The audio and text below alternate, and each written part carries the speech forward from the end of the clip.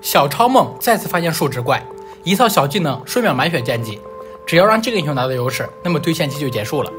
众所周知，联盟每个版本都有一些超强数值怪，这些数值怪凭借超高的技能数值碾压其他英雄，比如之前的奇亚娜，再比如这个版本的百炼绵拳。而小超梦这把游戏就是自己玩的第一把新英雄，本来以为对线期需要抗压，并且很难度过，然而新英雄的操作难度实在是低得可怜，对线只要 Q 技能丢得准一点，根本没有压力。而且在出了星矢以后，剑姬就根本没有反抗空间，一段 Q 丢过去，直接触发星矢的护盾和额外伤害，只要二段 Q 也能丢中。对面的剑姬就会被直接打掉半血，并且目前新英雄在上路的胜率比中路还要高，因为在上路都是近战英雄，Q 技能更容易丢中对手，只要对线期丢中两三个二段 Q，对面就玩不了了。